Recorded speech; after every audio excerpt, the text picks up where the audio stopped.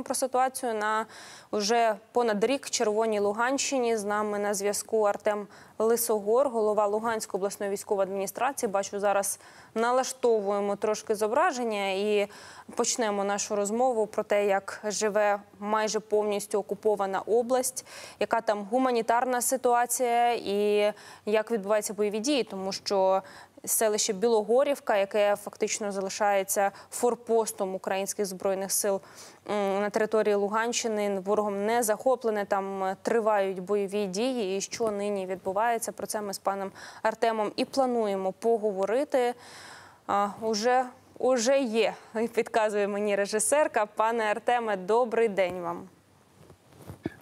Доброго дня, доброго дня вам. Розкажіть нам е, про ситуацію у Білогорівці. Я от щойно глядачам говорила про те, що це такий основний форпост наших сил на Луганщині. Нині що там позиційна війна, чи росіяни намагаються наступати?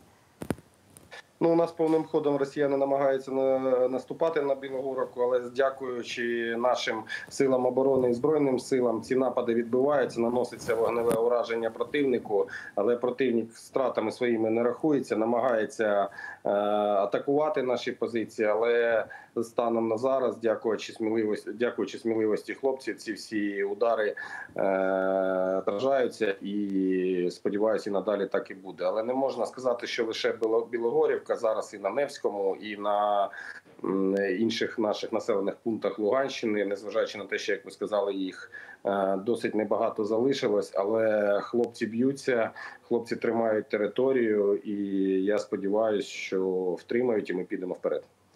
А чи готується от про вперед? Чи готується ворог на Луганщині до контрнаступу збройних сил? Так як ми бачимо, вони це роблять на Запорізькій частині Запорізької області окупованій. Як там настрій у вас? Ну, супротивник е, готується до оборони і дуже переживає з приводу нашого настрою. Десь навіть є такі, е, скажімо так, у недокерівників тих створених адміністрацій, які вони там постворювали. Є такі панічні настрої, що з ними буде, коли противник піде вперед. Готують речі. Я сподіваюся, що е, втікти вони від нас не встигнуть. Але так дійсно готуються. Збільшили кількість блокпостів, трохи посилили їх, десь загороджувальні рови роблять.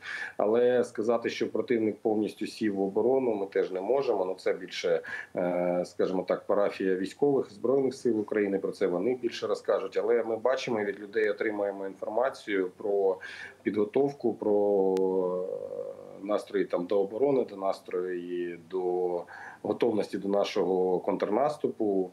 Теж готуються. А угруповання ворога у зв'язку з цим якось змінюється на Луганщині? Е, Ну, дивіться, інформацію про угруповання ворога. Я думаю, це більше парафія збройних сил України. Вони розкажуть те, що ми бачимо. Ну там може люди знаєте розповідають, що їдуть колони, там додаються. Ясно, що ми не про цифри зараз говоримо. Сили рухаються, сили рухаються, але ж але ж ви розумієте, фронт у против у супротивника нестабільний, тому вони рухаються, перекидають резерви. А як на мій погляд, то не вистачає десь у них сил, і тому рух є постійний, тому що вони перебрасують ті сили там, де тільки починають наші збройні сили, дякувати Богу, тиснути. Там вони починають перекидати свої е, недобиті, нерозбиті сили. Давайте тоді поговоримо про цивільних. Гуманітарна ситуація на окупованій частині Луганщини, Сєвєродонецьк, Лисичанськ. Як там у людей із е, такими базовими речами, як вода, як електроенергія? Дивіться, ну ситуація вкрай складна. Я вже не раз наголошував на цій ситуації. Те, що стосується населених пунктів, які е, знаходяться поблизу лінії зіткнення, скажімо так, до 40 кілометрів до, до лінії зіткнення, ситуація повністю критична. Це і Сєвєродонецьк, і Лісичанськ. Лише в окремих територіях є е, світло. Про воду взагалі мова не йде. Супротивник і е, в тому числі і Рашка не збираються там нічого. Ми бачимо на теперішній час відновлювати. Люди десь користуються колодязями, десь користуються е, скважинами, ті, що були, під'єднують, хоч якось їх для того, щоб забезпечити свої потреби.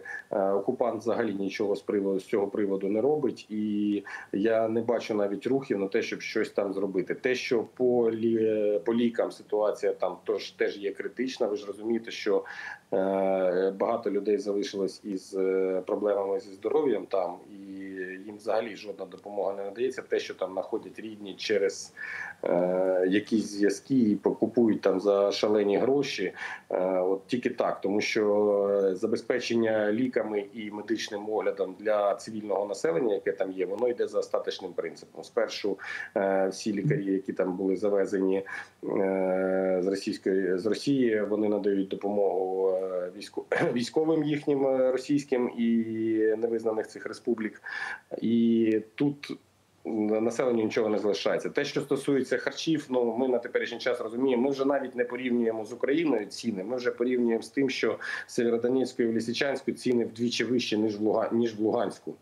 Е, Про що можна казати, якщо зубожіння людей йде повне, а ціни гнуть е, капітальні, і людям, навіть які там працюють на якихось е- засадах і повинні отримувати гроші. Якщо вони не отримали російський паспорт, то навіть ці кошти не виплачують або половинять їх. В таких умовах чи лишаються на Луганщині якісь осередки опору? Звісно, є. І вони діють. Як ворог на це реагує? Реагує постійно, шукає, патрулі виставляє, е- перевіряють людей постійно. Розвили ситуацію там з Павліками Морозовими, їхніми улюбленими акторами, який повинен всіх здати. І дуже багато таких людей, які е- зустрічали ворога, скажімо так, з розпростертими об'яттями. Е, до них ми також доберемося. І тепер зливають наших патріотично налаштованих громадян. Але люди справляються, десь переховуються, десь е, вчиняють Так, певні це- дії для того, щоб не бути спійманими. Героїчні люди однозначно. Дякую вам дуже за те, що долучаєтеся. Інформуйте. Це був Артем Лисогор, начальник Луганської обласної військової адміністрації.